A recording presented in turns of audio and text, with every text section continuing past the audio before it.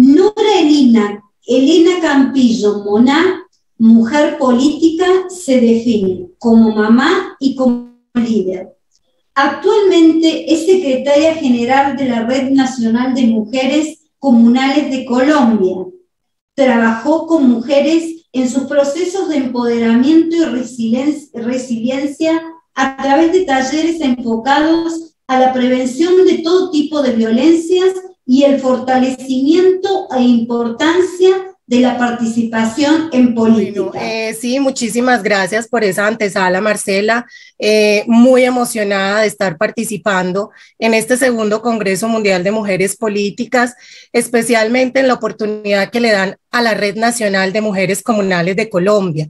Eh, nosotros estamos en casi 23 de los 32 departamentos que tiene Colombia en este momento. Permíteme que es que veo que no me pasa la presentación. Ahora sí. Eh, estamos en este momento en casi 23 de los 32 departamentos, como les decían, y empezamos en un proceso donde las mujeres comunales, que son como las juntas de vecindad en otros países, se reunieron en uno de los congresos nacionales y decidimos reactivar el proceso de la red para trabajar y empoderar a las mujeres. Desde ese punto de vista, nosotras somos en este momento una expresión social organizada, autónoma y solidaria de la sociedad civil con un enfoque diferencial y multicultural. Nuestra organización, como les decía, está conformada por mujeres que dentro del territorio nacional pertenecen a un organismo de la acción comunal, que son las de la base, el primer nivel, de acuerdo al artículo 6 de la ley 743, que es la que nos rige a nosotros los comunales, en este caso a las mujeres comunales, y nosotras somos unas hijas adoptivas de, la, eh, de las juntas comunales como tal. ¿Qué estamos haciendo nosotros en este momento con las mujeres y su empoderamiento? Estamos promoviendo es un desarrollo integral sostenible y sustentable en la defensa de los derechos humanos que son fundamentales para nosotras. Trabajamos para por la eliminación de toda clase de violencia, especialmente la de género y todo tipo de discriminación, donde trabajamos de manera articulada, sin ningún ánimo de lucro, con diferentes instituciones que llevamos al territorio para trabajar con ellos, como son, por ejemplo, la Policía Nacional de Colombia, especialmente el Gaula y la Dijín. También estamos trabajando con la estrategia ENFAC, que es la estrategia Mujer, Familia y Género que maneja la Policía Nacional en donde vamos y hacemos acompañamiento a las mujeres, hacemos capacitaciones junto con ellos y hemos logrado que se vuelva a creer en la institución de la policía en territorio a través de nosotras, la red. También estamos propendiendo por la inclusión social, económica y política de las mujeres comunales. De acuerdo a mis compañeras que me antecedieron, ese empoderamiento de mujeres políticas lo hemos logrado a través de que en este momento tenemos 10 mujeres concejalas que apoyamos en las últimas elecciones locales y eso fue un logro para nosotros porque todavía estábamos apenas despertando a esa toma de decisiones y de podernos presentar, porque no nos habíamos capacitado y no estábamos claras en que podíamos ser mujeres políticas, porque desde el trabajo en el territorio como comunal estamos haciendo un servicio y ya eso es ser una mujer política. Entonces estábamos eh, quietas y logramos que 10 de nuestras mujeres decidieran lanzarse y lograr el objetivo. Hoy en día hacemos acompañamiento y hacemos procesos con ellas y con varios de nuestros aliados, como también la Comisión Legal de Equidad de Género del Congreso de la República y la Consejería de Equidad, junto con la consejera, la doctora Heidi Gallo, y la vicepresidenta, la doctora Marta Lucía Ramírez. La red de mujeres comunales eh, tenemos como misión fomentar la unión, la solidaridad y el empoderamiento, la participación libre y espontánea de la mujer desde nuestro rol social y productivo, desarrollando capacidades de liderazgo, espíritu emprendedor y creativo, porque somos eh, esencia manuales, eh, nos gusta todo ese proceso y nosotros somos una familia. Entonces buscamos que desde la intuición y la imaginación busquemos el mejoramiento continuo y equilibrado de este trabajo en equipo o de familia, pero con una base moral de valores y principios propios de nuestra sociedad. Con la pandemia, quienes se vieron más afectadas fueron los procesos sociales y de territorio. O sea, nos quedamos quietas las mujeres comunales de la red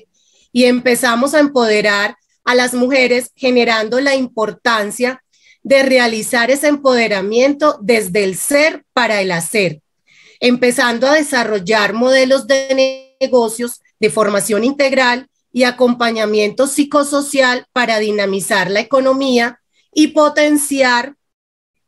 el empoderamiento de la mujer latinoamericana resiliente hacia la nueva normalidad, ya mejorando sus condiciones de vida y fortaleciendo algo muy importante como es la salud mental.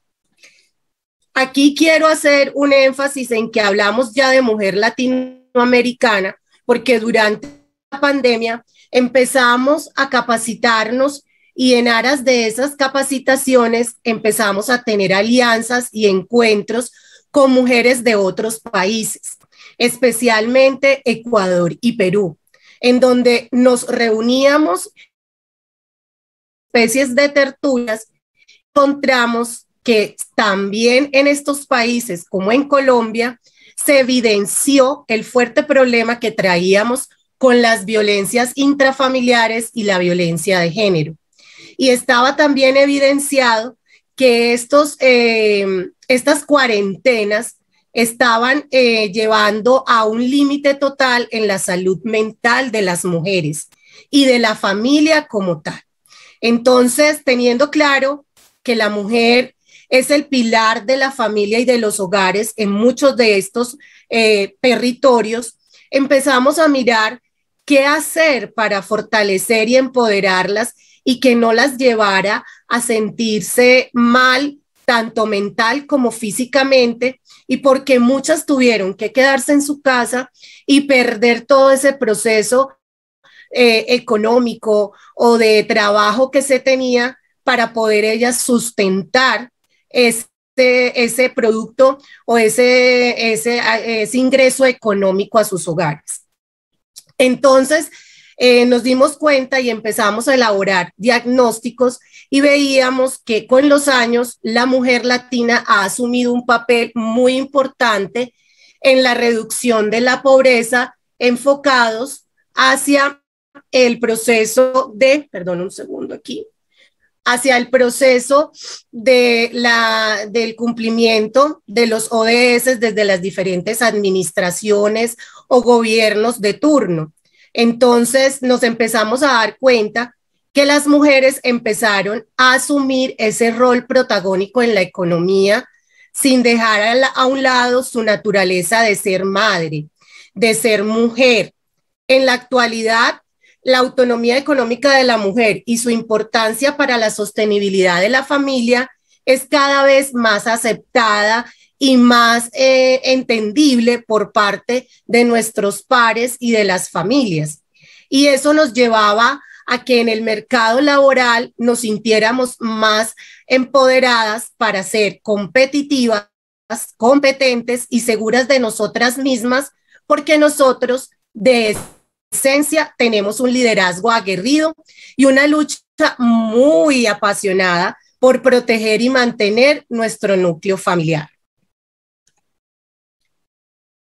En la red de mujeres, en la Red Nacional de Mujeres Comunales de Colombia, empezamos a generar estos espacios, como les contaba, de capacitación y creación de proyectos donde buscábamos era fortalecer la autoestima, la seguridad y la confianza en el mundo que nos rodea, a través de interacciones que nos permitían reconocernos como personas únicas y valiosas, abriendo oportunidades de manera independiente para nuestra autonomía económica y la, perdón, y la participación en los diferentes espacios de liderazgo y toma de decisiones. Aquí les puedo contar que este proceso de empoderamiento y resiliencia nos llevó a que hicimos nuestro segundo Congreso Internacional de, la Red de Mujeres desde la parte virtual. Empezamos a capacitarnos con las redes sociales, con los medios tecnológicos, volvimos a encontrarnos ya no de una manera presencial y no logrando tener esa fuerza que nos daba los abrazos cada vez que nos encontrábamos y que en pandemia y todavía en este periodo de pospandemia o nueva normalidad como llaman, nos hacen mucha falta porque Marcela y todas las que nos están escuchando para la Red Nacional de Mujeres Comunales de Colombia, un abrazo es esencial. Es ese contacto piel a piel con el otro de que crean y sientan que nosotros estamos ahí, que estamos siempre presentes para cualquier cosa, para las mujeres comunales y para quienes están a su alrededor. Entonces logramos hacer nuestro segundo congreso y creyendo que no íbamos a lograr, a pesar del proceso que estamos teniendo y que tuvimos muchas mujeres con COVID y muchas mujeres con sus familiares y que tuvieron pérdidas muy grandes en sus entornos familiares a través del COVID-19, logramos que ellas se sintieran nuevamente confiadas y lograran tener seguridad en ellas mismas y lograr salir adelante se reinventaron de tal manera que crearon unidades productivas que antes nunca habían imaginado que podían hacer. Empezaron a ser diseñadoras de sus propias redes sociales, empezaron a mirar cómo a través de un emprendimiento podían fortalecer su unidad productiva y ser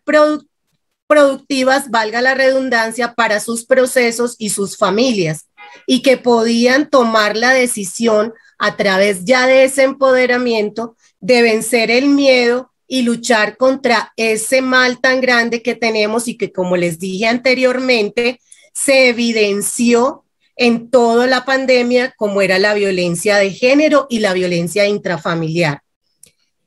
En cuanto a eso, y como les había contado, logramos una cooperación con mujeres de Ecuador y Perú logrando presentar el proyecto Mujer Latina empoderada y resiliente hacia el buen vivir, donde los objetivos principales de este proyecto que quisimos sacar adelante con, con estos otros dos países era la formación integral del ser y el hacer de la mujer, promover el desarrollo económico de las emprendedoras de la comunidad y lograr que eh, estábamos previniendo y promoviendo la salud mental y disponiendo de espacios adecuados para la práctica de las actividades de promoción. Estos espacios en pandemia fueron las reuniones a través de las diferentes plataformas con las cuales empezamos a, a familiarizarnos, empezamos a hacer cursos de manualidades a través del WhatsApp y empezamos a capacitarnos también en liderazgo y en formación política en cuanto a las elecciones que se iban a realizar de las juntas de acción comunal, como les contaba al principio, pero que por la pandemia se aplazaron y entonces quedaron ahí en stand-by esas elecciones, pero les indicamos a las mujeres y les enseñamos que todas podemos ser capaces de, de poder pertenecer a una junta de acción, de acción comunal, perdón, y que no siempre teníamos que trabajar para otros, sino que podíamos ser elegidas nosotras, no ser las que lleváramos a los hombres a ser los presidentes de junta de acción comunal, sino que nosotras podíamos tener esa determinación y ese poder y también tener voz y voto en los diferentes escenarios de, la, de estas presentaciones y de estas elecciones. Con este proyecto lo que buscábamos era tener alternativas de solución, viendo y evidenciando el problema que se estaba generando en este momento en todo el proceso de la pandemia y de lo que veníamos viendo de acuerdo a los diferentes lugares donde tenemos mujeres comunales, que nosotros estamos reunidos como capítulos, no como municipios, sino como capítulos, y empezamos a mirar cuáles eran las necesidades de cada una de esas regiones y de esos capítulos. Entonces, lo que buscábamos era mejorar las condiciones de convivencia y o aislamiento disminuyendo la prevalencia de la violencia doméstica y vulneración en los derechos en las mujeres de nuestro territorio.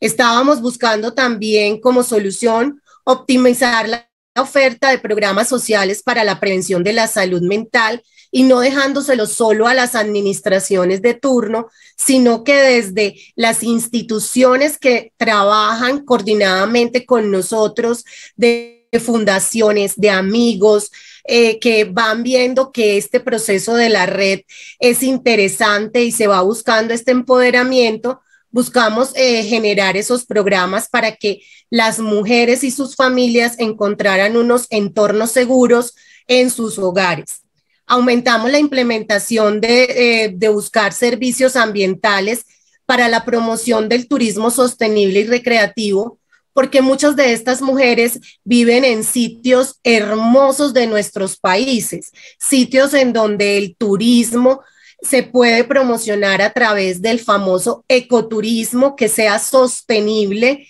y recreativo con deportes extremos y también eh, generando un impulso económico a través de la gastronomía de estos diferentes lugares donde nos encontrábamos las mujeres. Y aumentar el aprovechamiento de programas de arte, el tejido y cultura para promover el buen vivir y la salud mental. ¿Hacia dónde vamos eh, en este momento, eh, nuestro ideal o nuestro objetivo es lograr construir nuestras casas de la felicidad, porque esa es uno de los pilares fundamentales de la Red Nacional de Mujeres Comunales. Somos mujeres felices, somos mujeres que a pesar de las dificultades, somos resilientes y sororas en el proceso de encontrarnos como mujeres, como familia, como equipo que somos. Entonces queremos lograr tener nuestras casas de la felicidad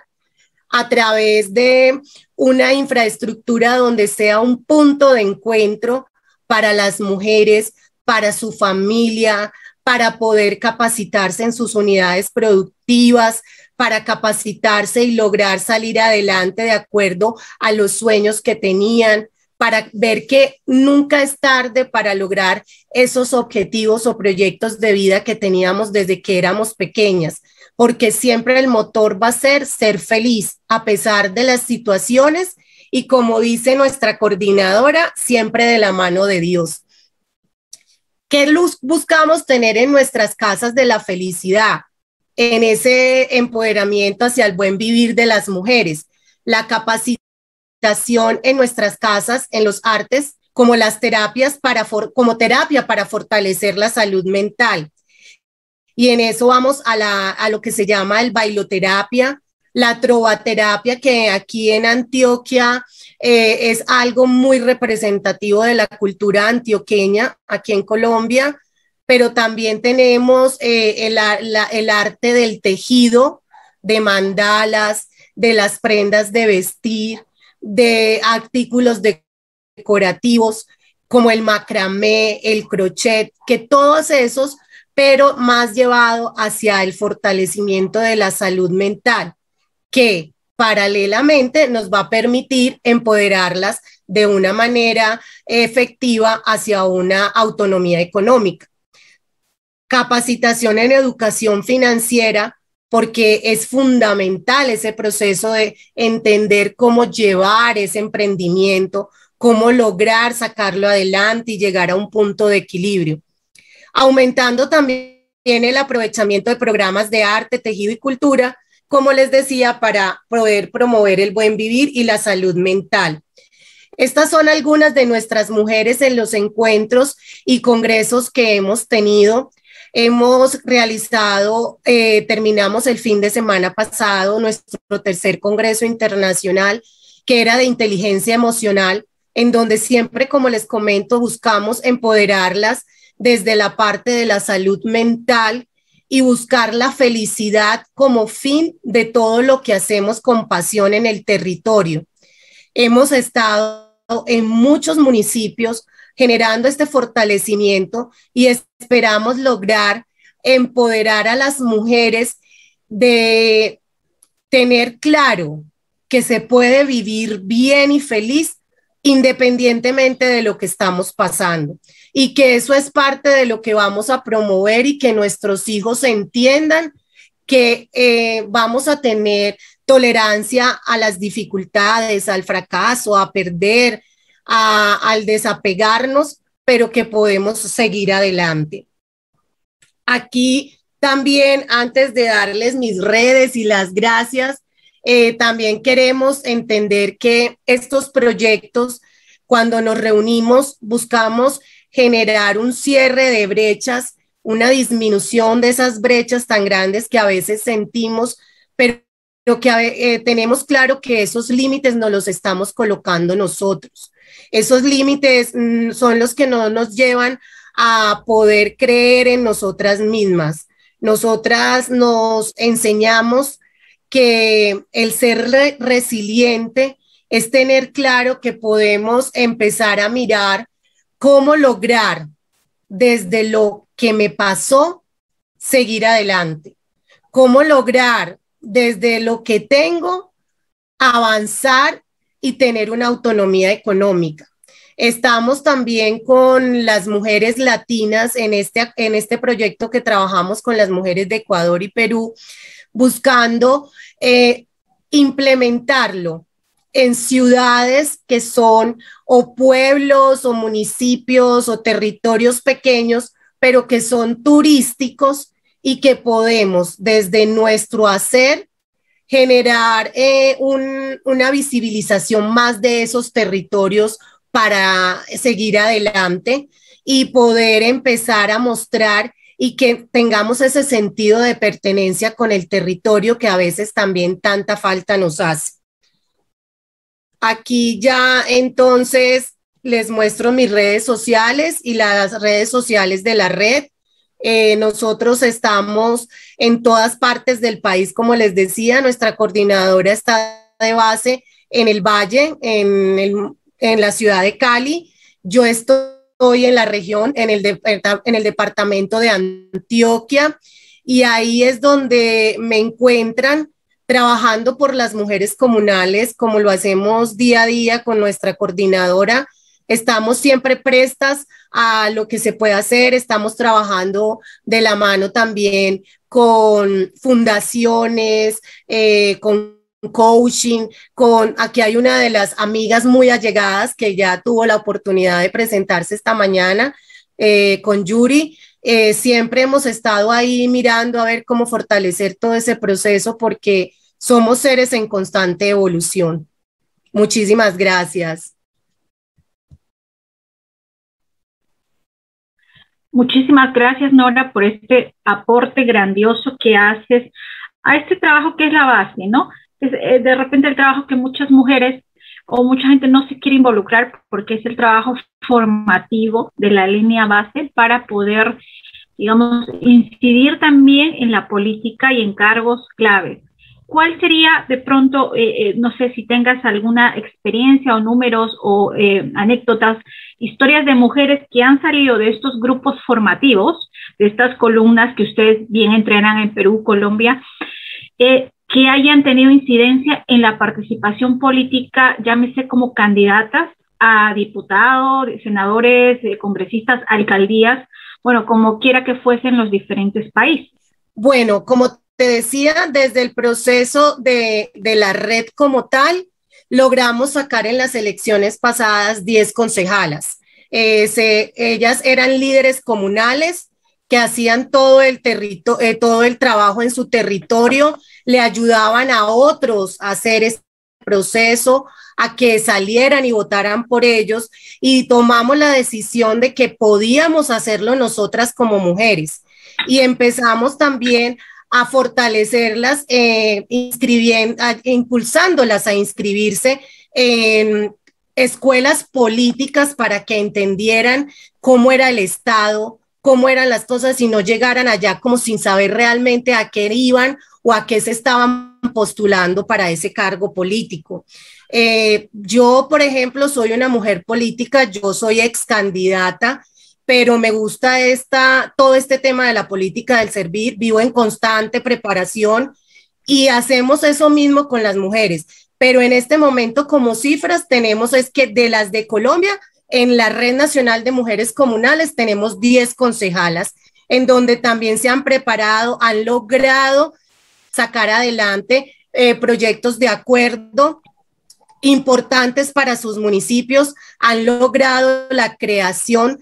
de, las comisiones legales de equidad de género en sus municipios, cuando ni siquiera los anteriores concejales le daban la importancia a esta comisión. Ya por ley lo deben tener, pero lo dejaban en el papel. Y hemos logrado ese, esa, ese es un logro que ha tenido la red donde tiene presencia estas concejalas, que realmente entiendan la importancia de la Comisión Legal de Equidad de Género y su creación para trabajar en acuerdos en pro de las mujeres de los territorios. Muy bien, Nora, vamos a pasar a leer el chat. Hay algunos comentarios, felicitaciones, claro que sí. El Twitter de Nora es arroba Nora Campillo M. Dice Victoria, Nora, es verdad, muchas mujeres comunales han logrado darles a sus comunidades una visibilidad, ya han logrado salir a promover sus municipios. Es correcto. Dice Yuri, sí, gracias querida Nora, excelente. Marta, saludo fraternal desde la Red Nacional de Mujeres Comunales de Colombia la red que lideran ustedes, que manejan. Y bueno, sí, es cierto, me hace recordar, y está acá también saludo a Maritza Gil, con quien tenía el gusto de trabajar en Perú. Eh, también ella tiene un programa que es Red de Mujeres, seguramente también nos va a comentar todos los proyectos, trabajos. Y cuéntame, ¿qué es lo que tú podrías, eh, tres, tres puntos que tú podrías mencionar como estos grandes digamos, temores y podríamos llamarlo tres factores eh, limitantes que se pueden encontrar en estos grupos en, en la etapa inicial, cuando todavía no se ha desarrollado, no se ha generado conocimiento, no se ha terminado de empoderar. ¿Cuáles son los principales obstáculos que están en la mente de estas mujeres para poder salir de, digamos, de, de, de este esquema mental que nos, eh, nos limita? Porque es cierto, hay que reconocer que es un, es un proceso, es un camino, ¿sí? Pues yo creo que uno de los factores importantes es el factor económico, el presupuesto. Eh, muchas creemos que hacer una campaña es con costos, pero los partidos políticos no, no nos generan el mismo presupuesto o económico a las mujeres que a los hombres de las listas. Entonces nos tienen en el famoso llamado relleno, entonces eso es un limitante.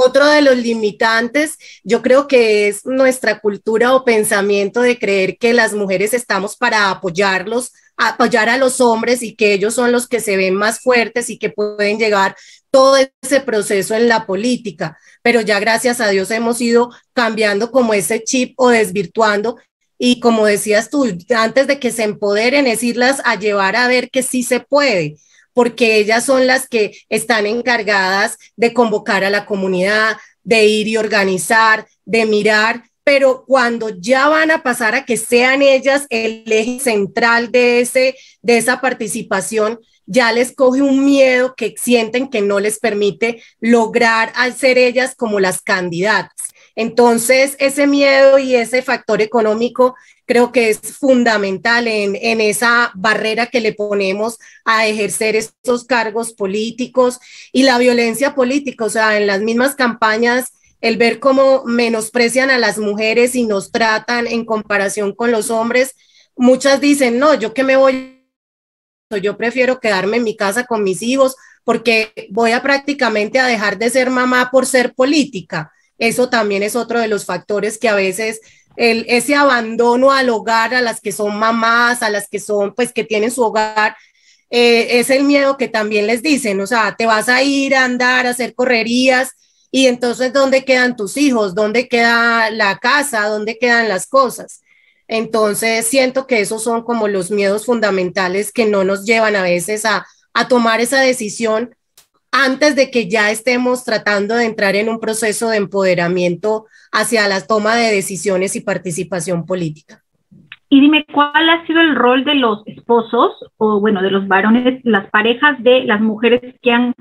digamos, tenido eh, o, han, visto el efecto de este cambio? Eh, si nos podrías contar algún efectos positivos o acciones, actitudes positivas de acompañamiento de los varones respecto a ver cómo es que la esposa ha emprendido este camino, quizá que termine en la política, quizá que no, pero eh, sería bueno saberlo porque finalmente se podrían haber generado también estas reuniones con ellos para ver cómo es que realmente su mujer se está capacitando y pues no está perdiendo el tiempo realmente, ¿es cierto? Mira, tengo una anécdota, un caso mm, de una de nuestras concejalas en San José del Guaviare. Eh, ella eh, decidió, eh, es concejala, pero el esposo lleva las labores de la casa en la parte de colaborarle con las hijas, con el nieto, con el proceso. Y el hijo, por ejemplo, ahora se acaba de inscribir en las listas de los consejos municipales juveniles. Entonces ha entrado como a mirar que sí es importante hacer valer los derechos, de que seas una voz allá en, en esas, en esas corporaciones y ha llevado a que todos en familia han trabajado en pro de ese proceso político que ella tiene como concejala. Entonces la acompañan a las correrías, a, las reuniones con, las, con la comunidad. Eh, han estado haciendo, pues hacen como una constante campaña sin ser campaña, pero la acompañan siempre en todo, en, en todo este proceso. Entonces siento que se han revaluado y han entendido desde el punto de vista de las nuevas masculinidades que es un trabajo en equipo y ellos han logrado apoyar todo este proceso a nuestras concejalas. Muchísimas gracias, Nora. Definitivamente el, que el trabajo que haces es loable, es el más eh, duro quizá, pues eh, de acá parte, de acá parte la historia de las mujeres que terminan haciendo eh, un papel fuerte, digno y que deja huella en la sociedad. Muchísimas gracias, Nora, por tu participación. Un gusto tenerte. Y bueno, eh, Marcela, seguimos con...